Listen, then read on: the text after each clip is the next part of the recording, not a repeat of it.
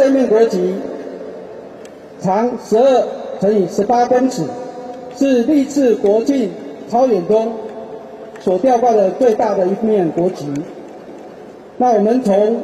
去年受命后就开始跟军备局实施多次的研讨，经过今年历经了四五月，我们完成了国旗定样以及测试，七月开始陆续实施国旗的动态的测试，一直到九月份开始进入到龙潭实施先期的任务训练。在这一次的国旗，是比往年更大一幅，它所面临的挑战也是去年也是往年所没有的。那因为国旗旗幅的增加，在原本的吊手的长度，去年是七十尺，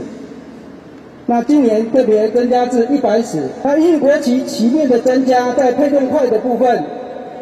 也由去年的六百五十磅的重量，增加至今年一千八百磅的重量，相当于八百多公斤的一个配重。那原则上，我们最大的困难就是要在每一次的测试阶段，我们都要试出旗帜，那它会撕裂的一个状况。还有这个国旗这次的